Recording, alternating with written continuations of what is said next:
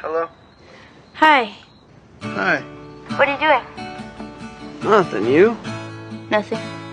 Why'd you call? I, um, I wanted to. I'm glad you called. Yeah? Yeah. Why? Because maybe you could explain what the hell this crazy woman is talking about. Ah, the fountainhead. Yes.